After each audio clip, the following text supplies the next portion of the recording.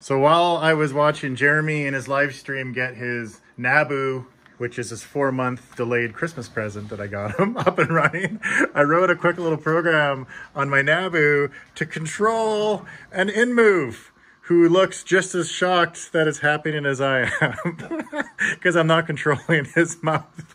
But it's very basic and it was just a few lines of code. So I can use the joystick and I can make his arm move. It's not a super advanced program by any means, but it's kind of neat to think of like, you know, if this was going to be Skynet running at 3.5 megahertz I think this is what you would expect.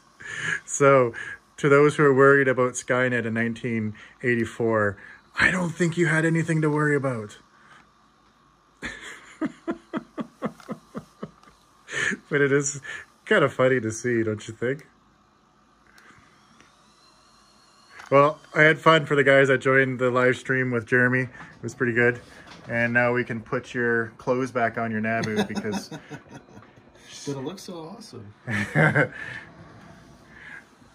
All right, can you wave goodbye? Very slowly to everybody. Really, really slowly. There you go. Can... Nope. That's kind of a wave. We're just going to take it as a wave. All right. Take care, everyone. Bye.